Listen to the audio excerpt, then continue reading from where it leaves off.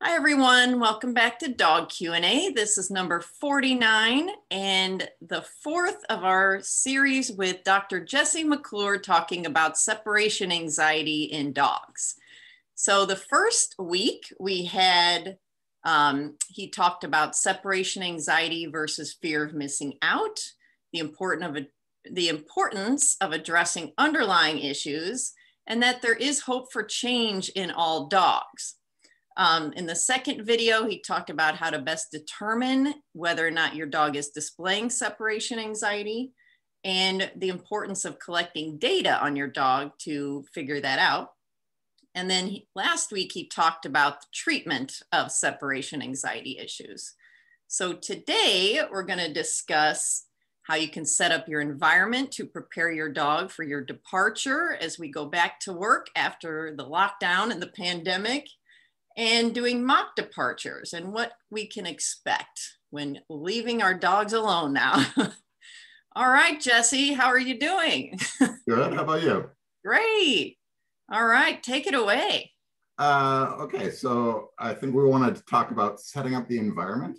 Uh, so when we when you think about a dog with separation anxiety, we need to look at things from from their point of view and how when we leave, our departure might be a stressor for them. But that might cause them a lot of discomfort, but also a lot of things, a lot of other aspects of the environment often change.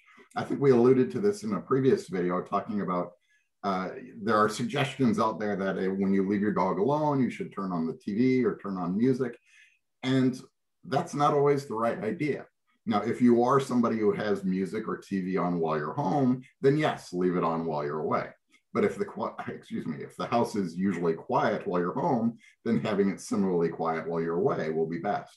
So the idea is not to distract them, but to give them to give the dog as much consistency in the environment as possible. So the environment that they're left in is very similar to the environment as when you're there. Uh, now, you can use that idea quite deliberately to, to prepare your dog a little bit or to kind of buffer them a little bit against the challenges of separation. Uh, and you can do that by, uh, instead of a mock separation where you actually leave, just set up their, their home environment and practice, uh, I don't want to say ignoring them, but practice being present with them without much interaction. So maybe that would be, especially nowadays with a lot of us working at home remotely, having Zoom meetings. We will be home, but we will be occupied. And helping your dog be occupied at the same time, whether that's even just sleeping in their bed or wherever they are, prepare them. Sorry, let me say that differently. Set that up so that their conditions are very similar to what they will be like when you're gone. Mm-hmm. So for, here's a, a, an example. Uh, if you crate your dog while you're gone, crate your dog while you're at home on your Zoom meetings for a while. Uh, and refer back to the previous videos about crating. That's not always helpful for separation anxiety. Sometimes it's actually quite problematic. But if your dog is comfortable in the crate and that's where they're going to be when you're gone, have them crated for a while while you're home and, and doing your own thing. Uh, I mentioned music. Uh, if they're going to be, if you keep your, similar to the crate, if you keep your dog in a certain part of the home while you're gone, keep them there while you're home for a little while for these kind of practice runs. And you can actually incorporate the idea of desensitization, which was kind of one of the major themes from last week or last the previous video, is in a nutshell, you can consider desensitization as taking baby steps towards the goal. So if your dog uh, is, is, is going to be in a certain room in the house when you're away, uh, uh, perhaps you could put a baby gate or some something like that on the door to that room while you're still there so they get you know it's a step towards that goal uh, so you gradually remove yourself from the situation so maybe you'll be farther and farther away from that room uh, this all really depends on your environment and in your home. I have a very small home, so there's not a lot that I can do there. But if you have a larger home, your dog is in one area, you're in the next area. And that's practice that you practice that for a few days. Then your dog is in their area, you're a little further away and a little further away. So you're still there. And if they really are really uncomfortable, they can come find you, or you'll know immediately if they're whining, but they're getting used to being a little more distant from you. Mm-hmm. Uh, and that can be a useful, useful practice. especially since it would be so easy for anybody who's still working at home, working remotely, to just start thinking proactively about, about creating a little bit of, no pun intended, social distance with their dog. And, and don't do that too long. I'm not saying ignore your dog for the whole day, but create these opportunities to have these, these dry runs of, of slightly more separation from the dog. And I feel like that may be naturally happening as people are working and they've had to, they're forced into it. Like, I have to work. You need to be quiet over there by yourself. Here's mm-hmm. a Chewy. yeah, I think so. Absolutely. But uh, there, that's a double edged sword because dogs are, I think I'll, uh, I suspect over the past year, year and a half, most of our pet dogs have gotten used to being ignored a little more in the sense that they get a lot more time with their owner present, but a lot less portion of that time is interaction. So, you know, back when people worked nine to fives, uh, the, they might only be home with their dog for, you know, excluding sleeping time. They might only have like four or five hours when they're present with their dog, but a fair portion of that would actually be actively interacting with them. Now we have the whole day with our dog and we're ignoring them most of the time. So they are getting used to the lack of interaction but it's a double-edged sword as there's a lack of interaction, but there's still the, the presence. Uh, and for example, right now, my dog, he's very happy not interacting with me, but he is sitting right at my feet. Uh, and if I were not here, he couldn't sit at my feet. Uh, and so we want, we want to start transitioning from lack of interaction sitting at our feet to lack of interaction sitting five feet from us, lack of interaction sitting 10 feet from us, and so on and so forth, until the dogs are, are again reassured and comfortable that a lack of interaction at 50 feet doesn't mean you're never coming back and doesn't mean you're not going to have the quality interactions at some point in that day. Yeah, so more transitioning to your absence from the home. And then when you are there, now you're interacting with your dog. Mm-hmm versus the opposite, which is what we have going on now sometimes. And so, what do you say to people? and I'm just thinking of a particular person that I'm working with now who want who leaves music on for the dog, but she doesn't want it on when she's home. so, how do you address something like that? I, would be curious. Well, I, would be curious why she wants the music on for her dog. Uh, well, I'm, I'm, not that curious. I suspect I know the answer. She she expects that it's going to help the dog, uh, and I, don't. I don't. I'm actually rather confident. There's no evidence that it will help. Uh, we're starting to get inklings of evidence that that is actually probably counterproductive, and not not tragically. So, and I don't. I wouldn't be too confrontational because I, I think it's a very good idea. There's a sound thinking behind sound thinking behind that. Uh, but it's probably not the right way for the dog. So I would suggest two things. The ideal, I think, would be, and I actually want to talk about music a little more in a minute, but the ideal would be for her to play that music at least periodically while she's home. Uh, and it could be at a low volume, you know, play it in one room of the house. If she's in a, if she doesn't really want to hear the music, she can be in a different area of the house, but have the music playing there uh, periodically throughout the day while she's present. Uh, and so then that then it becomes a more consistent signal. If, she, if the dog owner really isn't going to do that, then I'd say leave the music off while you're away, again, to maintain consistency. Mm-hmm. Uh, so there's a little bit of a tangent, but to go on the tangent of music, there have recently been a lot of, uh, well, several collections of music made for dogs, particularly. Uh, and I will admit to being very skeptical of these when, when I first learned of them. Uh, but, but as I've looked into it, there is some data showing that these really are useful and very beneficial for dogs. And they've actually collected the, the right types of music. Uh, and it's not so much genres. You know, lots of people would always say, you used to say classical music would be best. And there is some truth to that, but it's not about the genre. It's about some of the characteristics of the kind of uh, this is a little, quite outside my field. I've read a little bit of it, but there are characteristics relating to the melody and the tempo of it, uh, and kind of the more simple melodies uh, are more beneficial. And you often see that in classical music. But be careful about assuming that you'll see that in classical music, because if you put on uh, whatever the, the classical music station is, they'll have a lot of music that is classical music, but doesn't fit those criteria. It, you know, the more intense, uh, more upbeat, more kind of dramatic or, or, or suspense building classical music, that's probably not going to be as beneficial. So really look towards a quality collection made for dogs. There's one that I really like uh, called Through a Dog's Ear.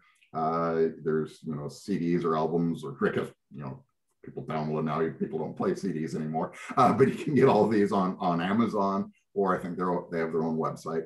Uh, and I, I've actually found I liked it quite. So I'll play it for my dog. I'm like, I'm relaxed. Um, so it's it's a good collection. I know when I was a zookeeper, we had this room full of birds, exotic birds screaming all the time. And think of like 60 birds in a room that just are loud. The only thing that quieted them all down was classical music. And I'm not saying birds and dogs are exactly the same, but it was that was the first thing I noticed about the music was, huh, they were literally silent when that music was on. Now, a bird obviously is a little simpler than a dog in some ways. And it could have been just something unusual to them. You know, I don't know, but it was it was the first thing that kind of showed me, oh, music might have something there. Mm-hmm. And we also had through a dog's ear playing for our old dog who was sound sensitive, and we called mm-hmm. it Maddie's song. we knew it by heart. and it did calm her in addition to other things we were doing. So I always say it's not the band aid you're looking for, mm-hmm. but mm-hmm. it, it's a tool. It's like, yeah, I don't know, like chamomile tea for us. And if you've got an anxiety disorder, you that's not going to do it. You need to see a therapist and get the right treatments. But if you're just having an off day, or you know, that can be a, an adjunct. It can be helpful. Uh, yeah. I, there was something else I was thinking about music. Uh, but before I come back to it, I just had to laugh because uh, there was uh, research a while back. I don't remember who did this, but it was they they were studying, they were working with rats and playing them different music. And I forget exactly how they were assessing whether the rats liked it, but they actually had a, a pretty interesting method. Uh, and it turned out I was very happy with the results. The rats did not enjoy country music, but they liked heavy metal. Oh my gosh. How I want to know how a rat shows how he likes music. they were headbanging. Right. um, but yeah, uh, so I actually want to revisit the idea of being careful with just going to like a, a, a collection of classical music or a classical music channel because they will have other things, or uh, they will have uh, you know the, the, the, advertisements or other things that might have different sound profiles. Although there is a running joke, I believe, on, on PBS. What do, what do they say? The the that the, the, the, station for dogs dogs or something like that they'll, they'll make that joke quite often oh, yeah. uh, and I, I, think you know that's probably better than than it's better than nothing if your dog if you want something playing but again remember the idea of consistency not distraction. Uh, so certainly pbs or your random classical music station played at a nice little volume is is probably okay. But if you're really thinking about playing sound and, or music for your dog i'd really take the time to just invest in something like through a dog's ear. It's it's cheap easy and it, it it's really good quality. Yeah. Yeah i've seen good results with our old sound sensitive dog. Mm-hmm. She would also lie in front of a fan that was on high speed and put her face right up against it and lie there with her thunder shirt on. And she was totally content with those things happening. You know, mm-hmm. whether it just she needed to block out the noise that was causing her anxiety. and there, there is a fair bit of overlap, I believe, between separation anxiety and, and noise sensitivity. Uh, so there, there's also overlap in some of the treatments. Is, is separation anxiety certainly, if you have a dog that is sensitive to sound or noises, the separation anxiety will certainly be exacerbated by that in the sense that if you leave them alone and they're kind of they're, they're okay but they're just you know they're they're they're what we would say below threshold, but they're not having the best day of their life. And then there's a loud noise, you know, the thunder clap outside, like, like we had some doozies this morning. That will not only set off their sound sensitivity, but now they're that will probably put them over threshold for their separation as well. Uh, and I think we alluded to that in a previous video about how you you can try to control everything, but then suddenly when there's construction across the street, it's going to set you back, and you're going to you know if if you can if you can be aware of any changes in the environment that are coming, make sure you incorporate that into your treatment. For example, today uh, we have wild thunderstorms. Really, we're talking earlier about how they they just shook our houses. They were pretty intense. Uh, and if I were working with separation anxiety dog today, I would most likely take the day off. Uh, if we are doing practice separations or these these these brief separations, I'd say let's not even do it today. Or if we were to do it, I would aim for much much shorter separations to be to, to account for the fact that the dog's threshold is almost certainly going to be lower on a, a noisy thunderstorm day. Do you think it would help to have a, a familiar person that the dog likes to visit the dog during the day if you were gone for a long period? Absolutely, uh, absolutely, uh, and that actually raises a question about there's uh, I, I, steer clear of the terminology, but there is uh, there are some definitions of terminology between separation anxiety and I believe isolation distress is the the, the differentiation. And in true separation, I, I, believe I hope I'm getting this right and not getting them backwards. But in one of them, I believe it's true separation anxiety. The issue is really being separated from the primary caretaker. So that would likely be mom or dad or you know whoever. Uh, and what that means is if that person is gone, the dog is likely to go into a panic mode or be very anxious, even if there are other friendly, familiar people there. So the issue is really the lack of that, that primary caretaker. That I believe is actually fairly rare in dogs. Most mm-hmm. dogs that we talk about as having quote unquote separation anxiety really have isolation distress, where it's the, the problem is that they are alone without any comfortable human familiar interaction familiar human interaction. Uh, so that that visitor in the, the day, that'd be very good for most of the dogs that have that isolation distress.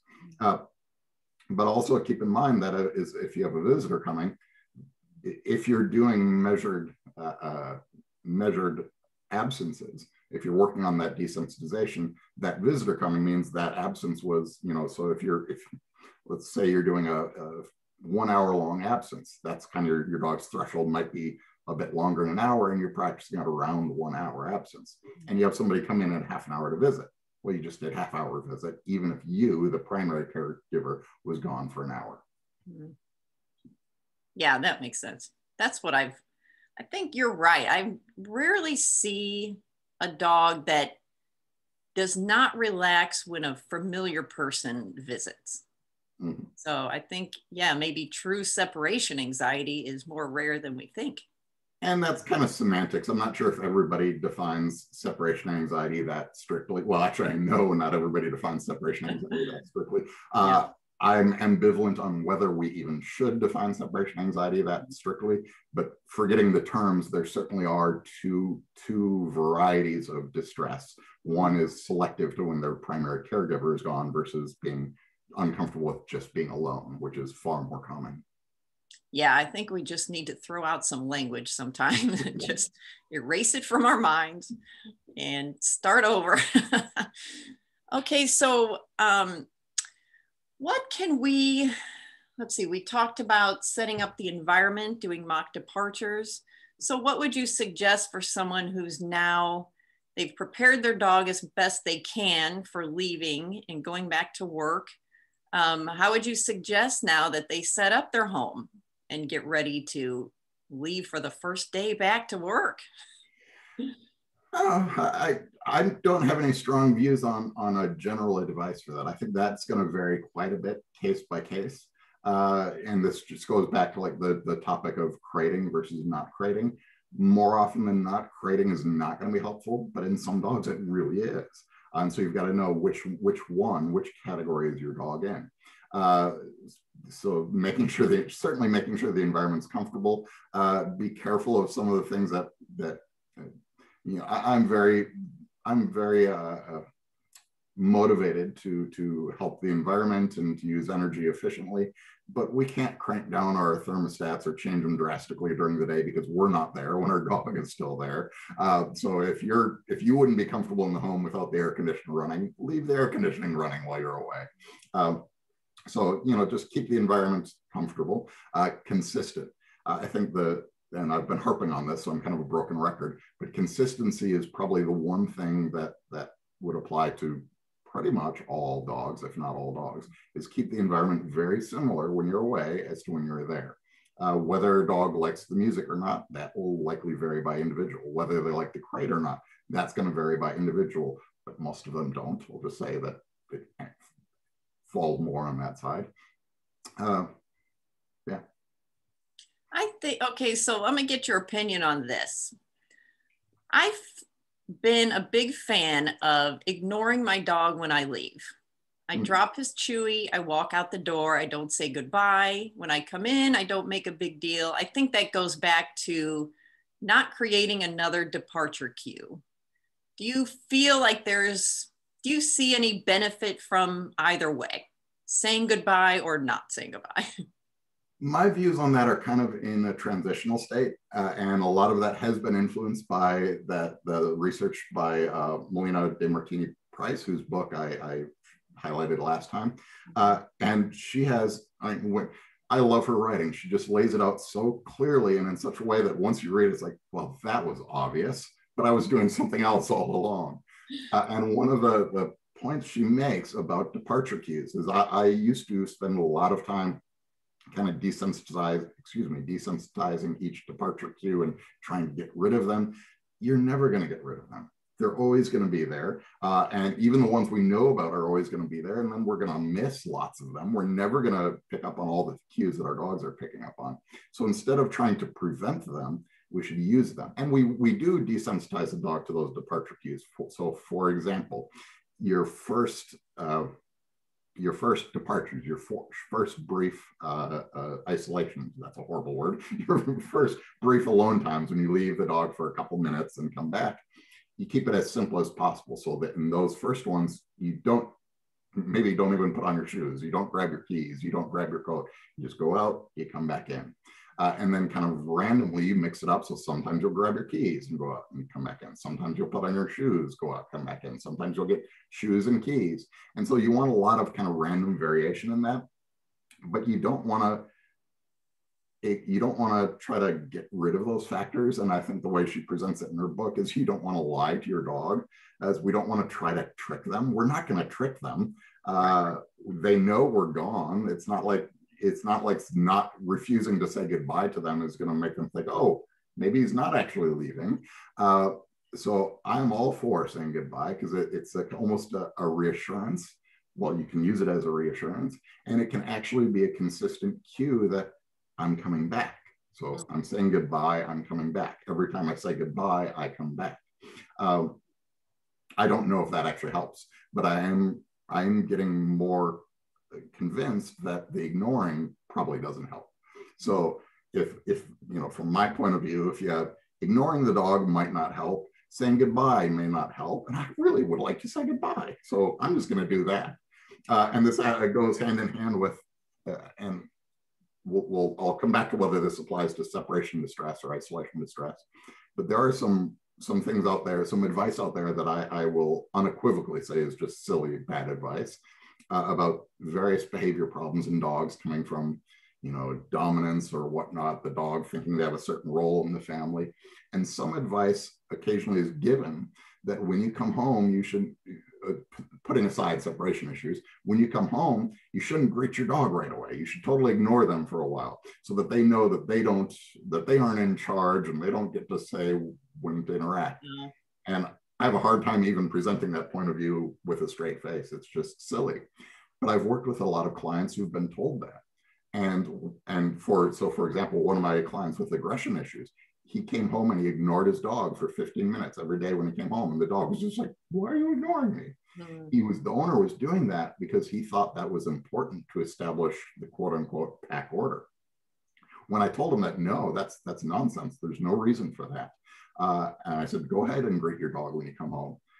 His like the, the look of relief on his face amazing. He's like, really? I can I can love on my dog again? I'm like, yes, please love on your dog. So in those contexts, I'm absolutely confident that ignoring them when you come back is is nonsense and is just even potentially hurtful to the relationship. In the case of separation anxiety or isolation distress, I can't say I'm 100% confident that ignoring them when you come home might not have some benefit, but I've not actually seen evidence that it does. Uh, and so I'm pretty skeptical. And so my, my uh, conditional advice would be, yeah, when you come home, greet your dog like you, however you would like to. Yeah, I think thinking about what you're saying, I feel like where I've seen a person coming home and greeting their dog and the dog becoming more anxious mm-hmm. is when they're overly greeting their dog and they're getting revved up and the dog's getting revved up. And mm-hmm. I don't think that's what most people do, though. I think they just want to say hi to their dog and then put their stuff down and do a few things, you know? Yeah. So I think what most people are doing is probably correct. Yeah, I think that absolutely makes sense. And I was actually thinking about that shortly after I answered. You don't want to make a scene. You don't want to make because the the departure and arrival are are the kind of critical points, and you don't want to accentuate them more than they already are. Uh, but you could actually argue both ways. So first, I will say you don't want to accentuate them more than you already are. But following the logic that you don't want to lie to your dog, you don't also want to you don't want to pretend that they aren't there I mean, these are real events, the departure and the arrival, uh, and they can be treated as such. Uh, but you don't want to accentuate them. However, ignoring your dog, like deliberately or, or con- conspicuously, that word is quite apt, conspicuously ignoring your dog makes it more of an event. Is that you come home, your dog is happy to see you, and now you're ignoring them, and the dog, why are you ignoring me? And now it really it punctuates that that arrival event versus just coming in and naturally saying hello and loving on your dog however you normally would. Mm-hmm. And I, I feel like too, people are going to do what they're going to do most of the time. and we're not going to trick our dogs. They know way more than we do. They pick up on things we can't even think of. So I think you're right. It's just don't make a scene. Just be normal and don't make a scene. Yeah. And I think keeping it, so you just touched on something that people are going to do what they're going to do. That's also a valuable mentality in working with separation anxiety or, or clients with separation anxiety dogs. Is I don't want to say pick your battles because if something actually is useful, have the client do that. But don't have them do things that we aren't confident are useful. Because every new thing that we we tell a dog owner to do when they're working with separation anxiety is just yet another burden. And the biggest hurdle to progress in separation anxiety the biggest hurdle to actually getting to solutions is owner commitment.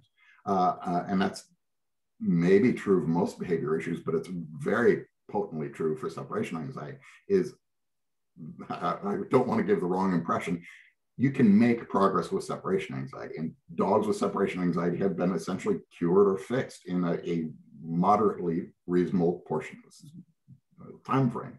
But it's not easy. I mean, it takes work. Uh, and it sometimes it can be discouraging work. It can take a lot of investment from the dog owner, uh, both time and emotional investment. And we need to be aware of that emotional investment. And so every new thing that we throw at them, and if they're already having a big emotional investment and they're doing a lot with this, and we say, and when you come home, don't greet your dog like you'd like to. Like, oh, right. That's just that's just salt in the wound at that point. And so that's why even even if we don't have solid data that it's harmful or helpful, in the absence of really good data that that's an important part of the treatment plan, I'd say no let the owners love on their dog let them maintain that relationship let them get some some joy out of a, a situation that is very challenging. Yeah i think you know like i've said before the house has to be on fire for people to call for help. Mm-hmm. they're calling for help. We don't need to add more fuel to the fire. Let's take some burdens away. And um, and definitely pick the battles in terms of the one battle you should pick the one right calling it a battle is probably the wrong mentality. I want right. to that. I need a different phrase. But the one the one issue that that you really should focus on uh, with a owner of a separation anxiety dog is the commitment to not leave the dog alone longer than the dog can handle, and that is. is that is that is the most important point, and that's where you need to bring in outside help. You need to bring in the village, the dog sitters, the neighbors, the family members, uh, because even I was talking to a client uh, the other day uh, where we're not actually focusing on separation anxiety, but they just, uh, since they've been home, like many people, they've realized that their dog might have separation issues. And they've actually started trying trial departures and realized that, yes, there seems to be an issue. Uh, and they had the mentality that, well, uh, I'll leave for a short time and then come back when my dog quiets down. Mm. Said, no, no, no, no. If your dog's already amped up, don't, don't wait for them to quiet down. You've already missed the, the time period that you should have come back at. You need to come back while they're below threshold. If the dog's already past threshold, call it off. I mean, there's nothing productive that's going to happen at that point. Minimize the, the, the emotional damage and just go back in. Uh, and I guess we didn't even touch on that. I don't believe it's possible to reinforce those those behaviors. So say you leave for a short time and you screw up, it happens. So don't don't kick yourself if you realize that you push your dog past threshold. We right. all do it. This happens. But the question is, what do you do in that moment? Uh, if the dog is inside panicking, scratching at the door, whining, howling, do not have the mentality of, oh, I don't want to go in now and reward that behavior. Mm-hmm. That doesn't make sense, uh, quite literally, because you cannot reward, you can neither reward nor punish behaviors that are emotionally motivated. They're not amenable to consequence based learning.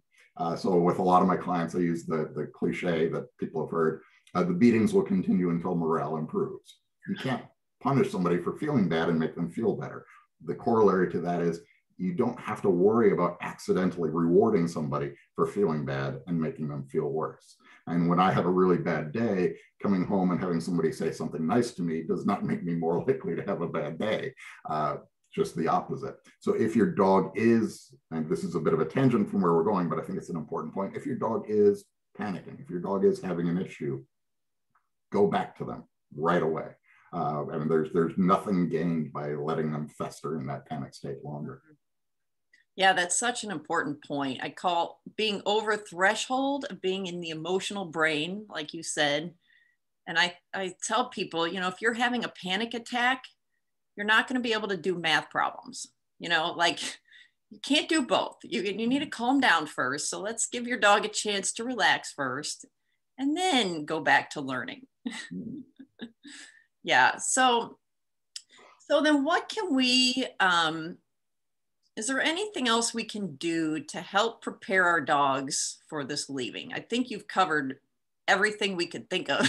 uh, I just want to make sure we didn't miss anything. Oh, I'm sure we have missed a lot of things, but none none that I know. There there is there actually are quite a lot of people with who are really invested in treating separation anxiety and doing a lot of really good research on it we're, we're all kind of in this this this what's the the term the for planes flying around the air, airline the holding pattern. Uh, or there's lots of speculation about what might happen as people go back to work but it's all speculation. We don't know. I mean this the, there, there's there's this both excitement and and uh, tension uh, that we we know that within the next maybe six months to a year, we're going to have a lot of data about how this pandemic either did or did not create dogs with separation anxiety. But right now, we don't know. Uh, the data has yet to come in. Uh, it, it's very intuitive to, to look at and say, yes, uh, now that we've been home with our dogs all this time, they're likely to have problems with us leaving. And I've said that, but we don't actually know that for a fact we could be totally wrong our dogs might bounce back just fine now not that's not the dogs that actually would have had separation anxiety otherwise but your dogs that didn't have separation anxiety before the pandemic might bounce back just fine so we want to set them up to have the best chance of doing that but we also shouldn't panic and we i, I think I, we don't want to we don't want to stress ourselves about leaving our dogs alone because our dogs pick up on our emotional state if mm-hmm. we're leaving the house to go back to work for the first time, we're like, oh boy, what's going to happen to the dog? That's a departure cue, and it's a different one than the dog has ever seen before. Mm-hmm. Uh, and that is probably setting them up for failure. Is the dog thinking, why is dad panicking when he's leaving? He's never panicked when he left before. This can't be good. Uh, so we don't want to we don't want to do that. We, we want to keep it as neutral as possible. Yeah, and then the other side is that I find, I don't know how you feel about this, dogs are fairly adaptable. Oh, yes, yes. I, I, with a lot of my, so again, many of my clients I'm working on aggression issues. Uh, and I always like to highlight there's actually Jean Donaldson is a, a phenomenal dog behaviorist, and she's she ran a, a, school for dog trainers, she writes lots of wonderful books. In almost every one of her books that I've seen, there's an introductory section, often somewhere called something along the lines of acknowledging the bar, acknowledging the bar that we're setting for our dogs. So her goal is often to talk about realistic expectations. Like if a dog is growling, we shouldn't necessarily worry about that. It might be perfectly reasonable for them to growl in those contexts. But we also, I also look at that from another angle where uh, people get, people with dogs with some sort of tension, reactivity, or aggression often feel, feel, well, all sorts of things. They feel like they, they may have done something wrong. They feel like their dog might be bad. And the truth is that 99% of dogs who don't have those issues it's not that those 99% are normal, it's that those 99% are phenomenal. When you look at what we do to our dogs, mm-hmm. how adaptable they really have to be to live in our world is it's really amazing. Uh, and so I'll often talk to clients about the way most humans approach a dog. You think about the typical way the average human being approaches a, a dog they've never met. They walk straight into them, which that's a bit of an aggressive or threatening gesture. They'll look right at them, often making eye contact, which is threatening. They'll lean over them, looming over them. This is especially true for the Chihuahuas and little dogs. They do a lot of this. Uh, being looming over them is, is threatening. And then we'll take these things, our hands, which dogs know two things about our hands. They move around and are really unpredictable, and they are our primary weapon. So we take our primary weapons and we launch them right at their face. And when you think about that, the fact that humans are not, that every human dog interaction doesn't end in a bite just is, is amazing. And that's practically a miracle that we're not all getting bitten every single day. Uh, so that highlights the adaptability and the patience of dogs. Uh, the fact that, you know, some portion of dogs are slightly less miraculously tolerant of that nonsense is not a is not a detractor from those dogs. They might actually be the slightly more sane ones. Uh, they have a little bit more of a realistic expectation of humans. Uh, oh, perfect, perfect description. but going back to the context of separation anxiety, it's it's also worth noting that how, how social dogs are and how uh, how I hate you ever using the word pack because pack mentality is just misused in so many ways, but they are animals that live in, in tight, cohesive groups. Uh, and we are part of their family. We, we are kind of part of their cohesive group. So when we leave, that is quite rightfully stressful and challenging to them. That is something that, again, a vast portion of dogs cope with very well, but it it is realistic for that to be a stressor. So when your dog is not coping with that well, that's not a pathology. That's that's normal. I mean, that's that's that's what, and we want to help them with it. We want to help them get through that but that is not a pathology. That is that is a healthy response to that circumstance. Yeah, I, I agree. And I I always say dogs don't bite as much as they should. yeah. Yeah, boy, if I were a dog, people would be getting mauled every day. Oh my gosh. I've literally grabbed my clients by the shoulders and said, How does that feel? And stare in their face. I'm like, that's what you're doing to your dog. but our dogs don't mind it from us because they're used to us. They're more trusting of us. We've had a, a history with them, you know? Yes, yes and no. I mean, uh, mm. I think our own dog, any person's dog is much more tolerant of that person than they would be of others mm-hmm. uh, because they've, they've learned through experience that the stupid things we do are not actually a threat it doesn't make them any more comfortable. And oh, that's true. Good point. There's, there's, some some research, which I always take with a grain of salt, uh, that they've assessed, you know, all the silly photos that people put on social media of them and their dogs and hugging their dogs. And they look for all the stress signs in those dogs or all the signs in, in the dog's expressions or body posture that show that the dogs are actually very uncomfortable with that. Mm-hmm. Uh, and that's true. Uh, however, I, I, think some people overstate that research. Dogs do like to cuddle, and they like to do it on their terms, and there are some limitations. Uh, so we should never assume that they like to cuddle and hug as much or in the same way as we do, but they do like to, to cuddle and interact. Uh, kind of going off on a tangent, but just yeah. because our, just because your dog tolerates and accepts all that Mm-hmm. Uh, and and they they do certainly recognize it as a sign of affection. So I, am just kind of anthropomorphizing or putting myself in the sh- in dog's shoes. They don't wear shoes. putting myself in the, the dog's position. I suspect they know very well that oh yeah, dad's trying to show affection. What a big idiot. Uh, so they they tolerate it because they know what it means, mm-hmm. but they still may not love it as, as much as we think. Yeah, yeah. We have a dog who does not like hugs. Mm. He will tolerate it most from me, but I know where his limit is and I don't push him to that. so he's comfortable being next to me, maybe touching, maybe not. But that's just him, you know? He's an independent nor- northern breed, you know, a Jindo husky. They're more independent. They they're not as cuddly sometimes and that's just him. Mm-hmm. So I think what you're saying is important. It's so important to know your dog and to understand, to build that relationship so that they are as comfortable as they can be. And then when you go back to work and leave your dog and, you know, just be you, they're already used to that. And if your dog has anxiety issues, work on it as much as you can, set them up to succeed as much as possible, and then just be you and greet your dog when you come home. Mm-hmm. okay, Jesse. Well, um, anything else on this one? I think we've covered a lot.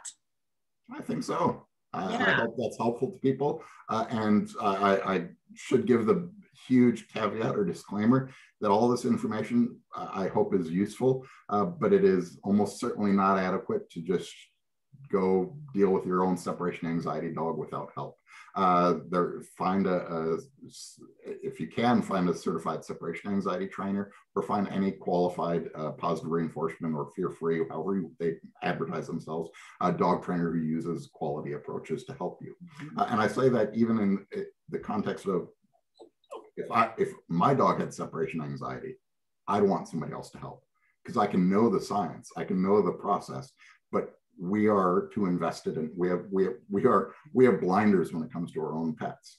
Uh, so it's just like you know a psychologist if they are having trouble in the workplace or wherever in a relationship they'll go to another psychologist to help them. They're not going to try to figure out their, their own situation even though they have the, the, the knowledge and the background to do so. It's just not going to work well yeah, 100%.